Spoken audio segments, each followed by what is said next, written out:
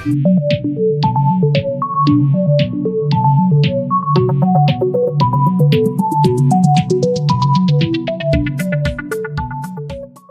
Guys I am माश तो आपने देखा यार कि मैं सेवन रुपी के बेट मैच में कितने बुरे तरीके से आ रहा और कुछ मोमेंट बहुत ही ज़्यादा ओपी भी थे, जो कि आपको भी पसंद आए होंगे। बट ऐसा क्या हुआ उस मैच में मैं बताता हूँ। उस मैच में मेरे अगेंस्ट हर्ष और डेथ नोट खेल रहे थे। अब भाई हर्ष तो अपने भाई दीप के बिना एक मैच जीत नहीं सकता। उसके तो ऐसे ही फट करके चार हो जाती है और गन्स थर थराने लगती है।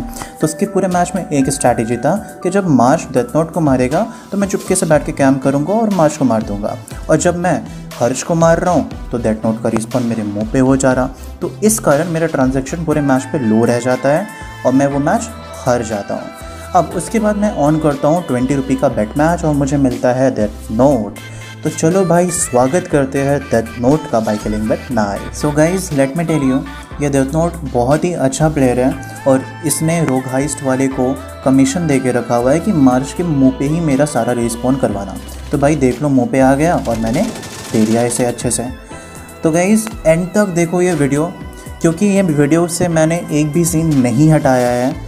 ताकि आपको बहुत कुछ सीखने को मिले कि मैं क्या स्किल्स यूज़ करता हूँ और मेरी स्ट्रैटेजीज़ क्या होती है जिससे मैं लगातार मैचेस जीतते रहता हूँ।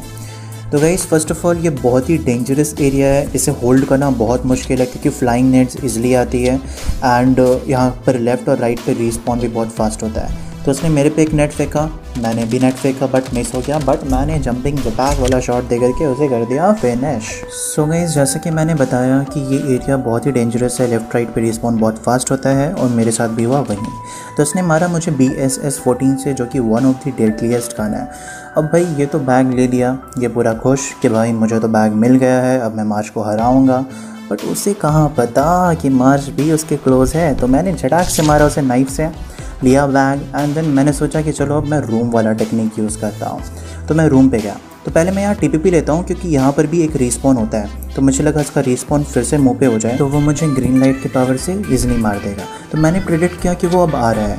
तो मैंने फटाक फटाक दो ग्रेनेड फेंका और तीसरा ग्रेनेड जो है मेरे हैंड पे ग्लिच्ड हो गया। अब आप तो जानते हो मेरा ग्रेनेड होता है ओपी वो मेरे ग्रेनेड से फटा और मैं खुद के ग्रेनेड के ग्लेट से फटा। ओ भाई, उसकी खुशी तो देखो कैसे उछल उछल करके जा रहा है। तो मैंने उसे फेंक करने के लिए चलाया शॉर्ट गन ताकि वो मुझ पर फायर करे और मैं ईजिली उसे नाइफ से मार दूँ। और ये ट्रैप हो गया। तो भाई अब मैं स्पीड में जाता हूँ अपने बैक के साइड और मैं सोचता हूँ कि मैं फिर से यही टेक्निक यूज़ करता हूँ। एंड मुझे पता है कि इस बार वो भी कुछ न्यू ट्राई करेगा तो मैं उसके लिए रेडी था। बट मैं ये नहीं प्रेडिक्ट कर रहा था कि वो विंडो पे खड़ा होकर के मुझे मारने का कोशिश करेगा।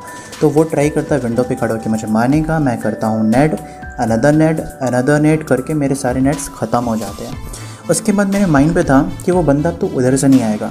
ज़ाहिर सी बात है वो पीछे उतर करके चाहे तो मेरे पे नेट फेंकेगा, या फिर फ्रंट से नेट फेंकेगा, या कुछ ना कुछ करेगा। तो मैं यहाँ पे टी पी लिया कि वो फ्रंट से तो नहीं आ रहा है। वैसे मैं बल्कनी गया और मैं जम गया अब मुझे पता था कि ये बंदा जो है इस साइड से आएगा, वो आया भी। और अब मैं ये प्रेडिक्ट करता हूँ कि वो मुझे फॉलो करते हुए मेरे पीछे पीछे आएगा। तो मैं पहले उसे फेक करने के लिए स्ट्रेट जाता हूँ देन वन डी रिटर्न और देन फटाक से, झटाक से फिनिश हो गया वो। सो so गाइज़ ये स्ट्रैटेजीज बहुत ही ज़्यादा इंपॉर्टेंट होती है रोक हाइस्ट पे। अगर आपके पास वो स्ट्रैटेजीज़ नहीं है मैचेस जीतने का एंड आपके पास सारे skills then let me tell you फिर भी बहुत मुश्किल है मैचेस जीतना। तो मुझे आवाज़ आता है कि मुझ पर ग्रेनेड कर रहा है। तो मैं जल्दी से बाहर जाता हूँ, उसे मारता हूँ तो वो डर के भाग जाता है। अब मेरे माइंड में यही चीज़ आता है कि चाहे तो वो फ्रंट से आएगा या फिर पीछे साइड से आएगा। तो मैं पहले टी लेता हूँ कि वो वापस वहीं से तो नहीं आ रहा है। तो मुझे रियलाइज़ होता है कि वहाँ से नहीं आ रहा तो पक्का पीछे से आ रहा होगा। तो मैं पीछे होता हूँ। एंड वहीं होता है। वो नेट करके पीछे से आता है। पीछे से आया घुसा मैं जंप किया फिनिश सो गई जो गन मैं यूज़ कर रहा हूँ market let me tell you इसके बुलेट्स का बॉडी कनेक्ट बहुत ही अच्छा है।